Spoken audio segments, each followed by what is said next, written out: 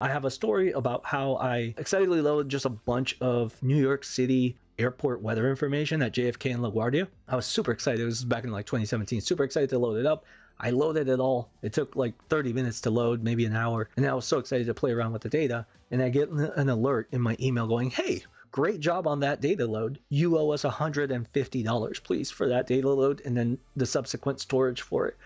And I said, oh no, I'm gonna have to pay $150. Let me let me get rid of this stuff. So I dropped the table that I had just loaded, and Microsoft was like, wonderful job on that drop. Great stuff. You still owe us $150. And so I, I was left paying $150 and with no data to show for it. So I do not want you in that position. Do not keep it online if you don't have the funds or if you're just a student. Unless you have a valid reason to keep it online, don't. And by the way, I know that you can like call Microsoft and be like, hey, I messed up, but they probably only give you one free of those.